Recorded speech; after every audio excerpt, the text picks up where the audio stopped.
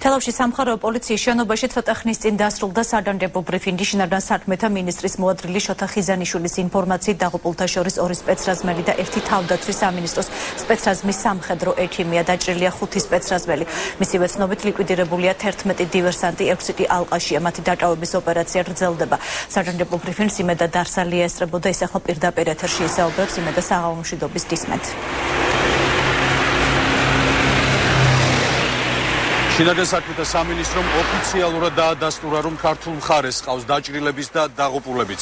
საქართველოს რუსეთის საზღვართან დაღესტნის მონაკვეთზე სპეცოპერაციისას დაიღუპა შინაგან საქმეთა სამინისტროს სპეცრაზმის ორი თანამშრომელი სოლომონ ციკლაური და არჩილ ჩოხელი, ასევე თავდაცვის სამინისტროს სამხედრო ექიმი ვლადიმერ ხვედელიძე. დივერსანტების მხრიდან შეერაღებული დაჯგუფების 11 წევრია ამ დროისთვის ლიკვიდირებული.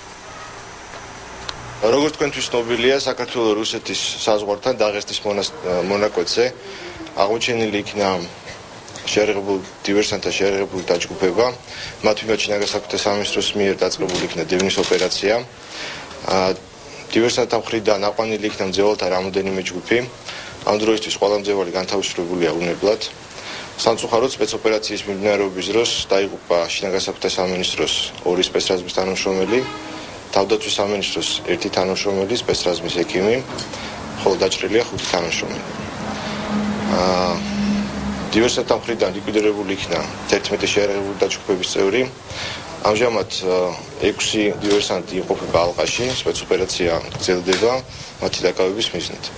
აა ბოლოს მინდა დაღუპულთა ოჯახის წევრებს შინაგან საქმეთა სამინისტროს სახელით მოუსამზერო. საქართველოს რუსეთის საზღვართან დაღესტნის მონაკვეთზე ამ წუთებშიც მიმდინარეობს სპეცოპერაცია ოფიციალური ინფორმაციით შინაგან საქმეთა სამინისტროს თანამშრომლებს ალყაში ყავთ შეიარაღებული დაჯგუფების 6 წევრი.